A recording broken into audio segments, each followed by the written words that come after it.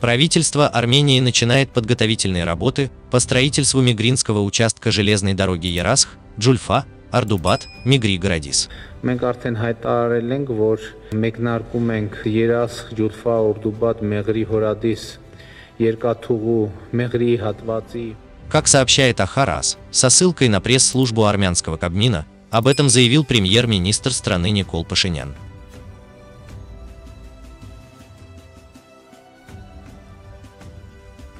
Мы уже объявили, что начинаем подготовительные работы для строительства Мигринского участка железной дороги Ирасх, Джульфа, Ардубат, Мигри, Городис.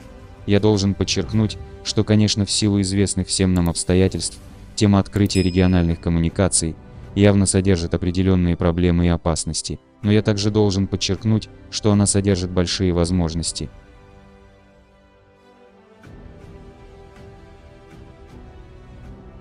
Вице-премьер Армении Мгер Григорян, комментируя ТАСС данный вопрос, рассказал, что правительство республики планирует восстановить в общей сложности 45 километров отрезков этой дороги, которые проходят по территории страны, и направит на это 200 миллионов долларов.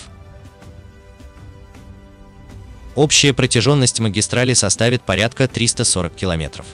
В Ереване отмечают, что маршрут будет действовать по международным правилам осуществления железнодорожных перевозок на принципах взаимности, в рамках суверенитета и юрисдикции стран, по территориям которых он будет проходить. Пишите в комментариях, что вы об этом думаете. Спасибо за просмотр.